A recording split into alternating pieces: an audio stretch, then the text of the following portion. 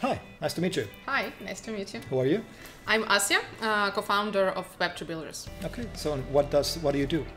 We onboard individuals and companies onto Web3 and try to help people understand the emerging technologies. Okay, so uh, given the Web3 space being a little bit maybe unknown for many people, so what is the unique value proposition of your company? Uh, we want to help uh, individuals and professionals to succeed in the Web3 space, to understand the main concepts and philosophy, and to find the best way how they can implement technologies in the, their daily life or in the business. Okay, that's a big challenge, I would think. But uh, I'm looking forward to hearing more about you, uh, about what you do. Uh, but uh, today we are here at the Nordic FinTech Summit. Uh, how do you find the event so far?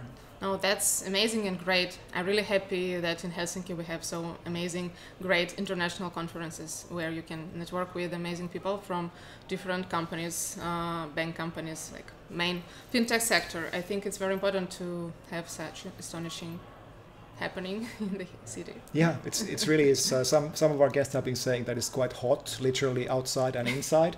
Uh, but uh, the uh, uh, once the event is over and we walk out of here, uh, what do you expect to get out of this summit this year? definitely some inspirations because I think there is a great chance for Web3 to be implemented in fintech, and I'm like watching the trends and trying to understand what is really can be unique and applicable for fintech from All the right. Web3. So if our listeners want to know more about what you do and uh, how to get in touch, so where can they find you? The better way, go on LinkedIn, uh, search Google, just like find Asya Kruglova uh, and our Web3 builders. Uh, we will be bringing also Aurora conference to Helsinki this May, late May, beginning of June, and everyone can be very welcomed to find the proper things there uh, related to Web3 and also DeFi and FinTech. All right. well. A lot of good buzzwords there. Uh, thank you for being a guest.